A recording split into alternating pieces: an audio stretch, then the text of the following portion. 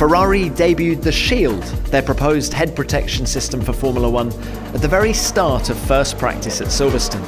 Sebastian Vettel ran with the device for one lap only. Max Verstappen's Red Bull team was sent scampering to his aid as he managed to outbrake himself in the pit lane.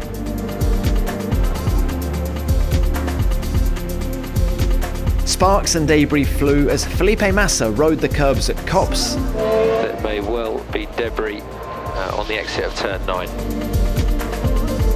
But Vettel couldn't hang on and was sent spinning off at high speed between Becketts and Chapel.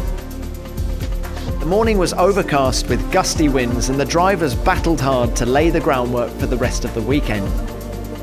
Bottas and Hamilton led the way, followed by both Red Bulls and then the two Ferraris. Still lots of work to do.